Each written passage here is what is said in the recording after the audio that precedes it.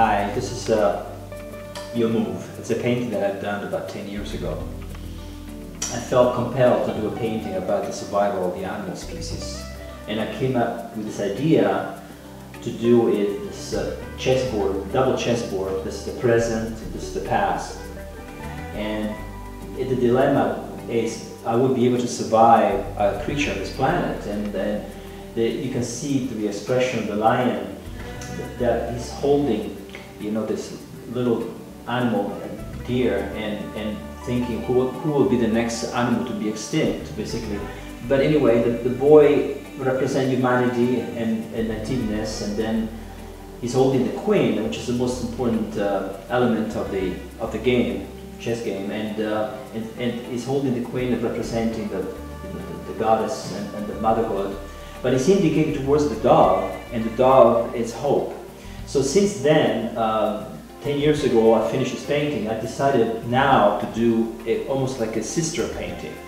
And the sister painting, it's called Checkmate. So this is a your move, and the next painting will be called Checkmate.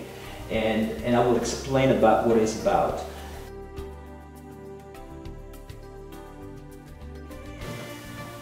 This is the uh, work in progress right now. Uh, the Checkmate, the title of this new painting that I've been working for the last couple months.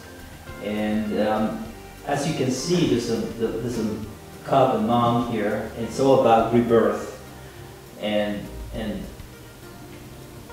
regrowth and the hope you know, for, the, for the future. And the, the, little girl, she's the sister of the little boy on your move.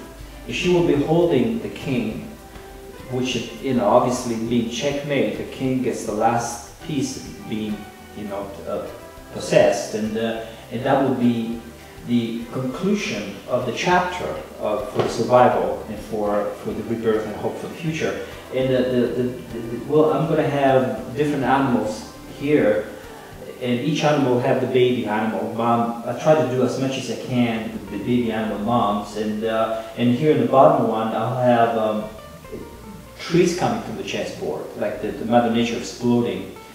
And uh, so I'm not sure how we'll conclude the painting, but it basically will be just like that. And I'm going to keep uh, videotaping more the progress of, of, of this artwork.